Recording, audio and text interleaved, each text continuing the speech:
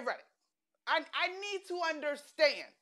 You're trying to tell me with that man, Kevin Durant, the Slim Reaper, easy money sniper, just mm, mm, mm. And with Kyrie Irving, who is box office. Now, we're not going to talk about the vaccination status and all that, but it's box office. They couldn't get past the Miami Heat. Now, I mean, you know I love Miami, but the Miami Heat, or let's just say it's the Philadelphia 76ers, where James Harden has not proven himself in the postseason.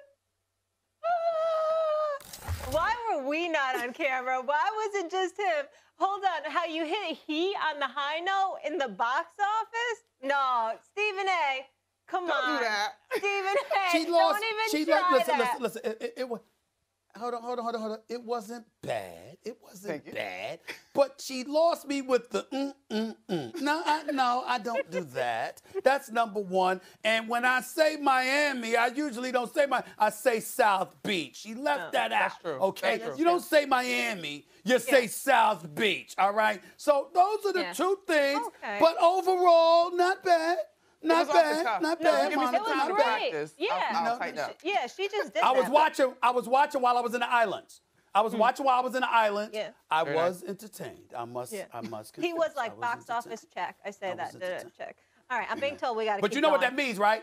You know what that means, right, Molly? You know what, that means, right, Molly? What? Monica McNutt. There's an imitation of you coming soon. Get it, Brick. That would we be know fun. you can act. Stephen A is a thespian too, so be careful. yes, mhm. All right, Monica. The Lakers have lost Brick! six Brick! straight. Yeah, I know Brick. I know about him. I watch him. Are now 11th in the West, barely hanging on for a play-in berth. Tonight they have a tough one, facing the team with the best record in the NBA. Last season's Western Conference champs, the Phoenix Suns. Anthony Davis frustrated with all the talk. He's missed 37 games this season, telling the LA Times, "This is what I've learned about injuries." Last year, when I wasn't playing, people were saying AD's given up on his team. It's the playoffs. AD has to play. He's got to play. And when I went out there to play, got hurt again, they said, Who is this trainer? Who let him play? So, what the bleep do you want me to do? When I play, it's a problem. It's a problem when I don't play. These aren't little ticky tack injuries. Stephen A. Smith. Does Anthony Davis have a point or is he missing it? He's missing it. Um, and I say that respectfully. I got a lot of love for Anthony Davis. I think he's a hell of a player. I think when healthy, he's in a conversation as one as one of the top five players in the world. Clearly a top ten player from a talent perspective. He's big time. All right, but he's injury prone. And the thing that the thing the part of that the thing about it that he's missing, the Charles Barkleys of the world calling him street clothes and stuff like that. It might rake his nerves or whatever, but no one has ever said he can't play. No one has ever said he's not a star. What we've said is you're injury prone, and that happens to be factual. Now, this these injuries this year are freak injuries. Could have happened to anybody. LeBron James pushing a player into the back of his legs inadvertently, that, that forced him to miss 10 games. Him coming down on Rudy Gobert's foot, that forced him to miss a, a month and a half. He's absolutely right. That could happen to anybody. The problem that Anthony Davis has to live with, that his wife, his family, his loved ones, his teammates, nobody can absolve him from is that no one's labeled him that way because of this year. You have a history of repeatedly being injured. And after, you know, the bubble play and what have you, you spent the off season not getting in shape. You spent the off season according to the reports getting yourself conditioned to avoid injuries. And you were unsuccessful in doing that too. And so as a result of it, folks are looking at you, not saying you can't play, not saying that you're not a star. We know there's no way in hell that if Anthony Davis is 100%, that the Lakers are 16 games under 500. We know better, okay? Because he's too great for something like that to happen. But those injuries do matter. And when a guy is your teammate, who's considered the second greatest player who ever played the game, who is 37 years of age in his 19th season, and even though he's had some injuries, is still healthier than you at 37 in his 19th year in the league. He has still missed less games than you, and he desperately needed you in order to win. you're going to have people that look at you and just say, damn. It ain't because they don't respect you. It ain't because they don't respect your greatness. It's because they know how great you are. And they know if you were available, we wouldn't look at the Lakers as the horror show that they have been this year. It's that simple. And that's not something to go home about or be upset about and throw and and and, and you know complain about. It's something that you have to accept because you can't stay healthy, even though it's not your fault.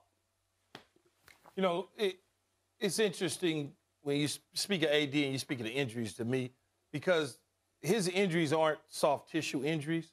Then he's not running down the court all of a sudden straining his hamstring, tearing the meat off his quad bone, not, nothing like that. It's like freak accidents. My biggest problem with him being a Laker fan right. and just being a fan of basketball and sports in general, especially a Laker fan, you know how I feel about that, is I want to see him play. Period. I had injuries in football, and I've been around football players that had catastrophic injuries, but somehow they figured out how to still get back on the field. And so that's my only thing. Who is your physical therapist trainer? Who gives you the PT that you need? What are they doing to get you back on the court? I understand what he said in his quote. And who's his trainer? Damned if I do, damned if I don't. What, what, you know, what am I gonna be able to do? Do something though. I don't know what the something is, but when you have an ankle sprain, a little knee, all of a sudden an MCL sprain, a little shoulder sprain, go get the necessary treatment. If it takes 24 hours, seven days a week to get it, I've seen it done. It's not him quitting on his team. It's none of that, Monica. Nothing at all whatsoever, Stephen A, about quitting on your team. It's about the will. Magic Johnson was on my radio show yesterday, and he said Anthony Davis is going to still be in this situation until he decides that he wants to do it. And that's what I take from that. It's interesting, y'all, because I was struck by sort of the acknowledgement of the noise of, by this quote, right?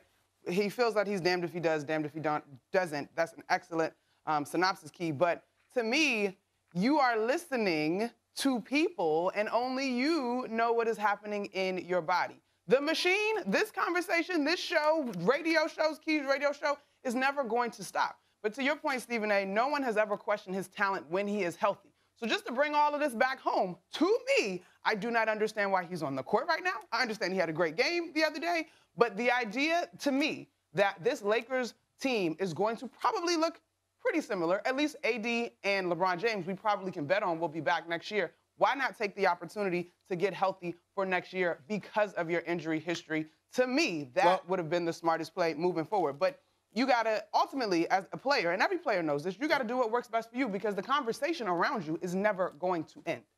Right. But but but Monica, let's not get it twisted. Anthony Davis is listening to the noise because he knows the noise ain't just about this year. He can sit up there and give quotes to the LA Times all he wants to about it being about this year. When you're talking about Anthony Davis and his injuries, you ain't talking about this year. Right. You're talking right. about historically injured individual. And there have been reports that have questioned what he's doing in the offseason, as is the case with a lot of these players. What people are looking at, Keyshawn and Monica, you know they're in the gym. You know they're working out. But some dudes need to actually be working on their game, and other dudes need to be working on strengthening themselves to make sure they can endure the grueling 82 game schedule and beyond that they know are forthcoming.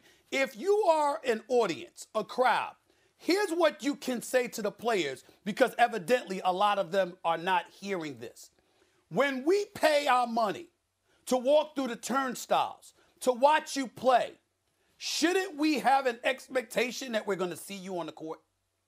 You have players today that walk around and act like they don't have the right to have that expectation. And that's what's most alarming. At some point in time, rather than being mad at everybody else, when are you going to sit up there and go like this? You know, you know, Keyshawn, you know what all, all Anthony Davis had to do? Because again, I love the brother. Anthony Davis is a good brother, man, and a great player. Let me tell you something. This is all Anthony Davis had to do. Damn, I can't stay healthy. This but is see, driving me but crazy. see, Stephen A. I, doing if, everything if was, I can. That's all he had to do. Tissue, though. That's all you had to do.